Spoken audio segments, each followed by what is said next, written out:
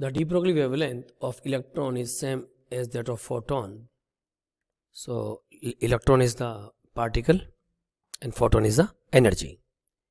If velocity of the electron is 25% of velocity of light that is c by 4 then the ratio of the kinetic energy of the electron and kinetic energy of the photon we all know very well kinetic energy of the photon is always given by the standard formula that is hc by lambda now we have to calculate the kinetic energy of the electron kinetic energy of particle is given by half mv square in the case of the photon I have discussed in my theory classes always replace the mass.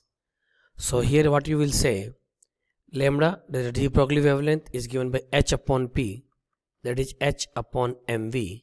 From this equation m can be written as the h upon lambda into v. Put this value of the m here.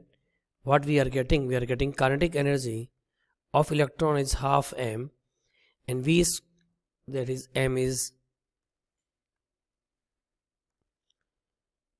h upon lambda v into v square. So finally it is h upon 2 lambda into v. So we have to calculate the ratio of the kinetic energy of electron and kinetic energy of photon. Kinetic energy of electron will be written as h v upon 2 lambda and kinetic energy of photon is h c upon lambda.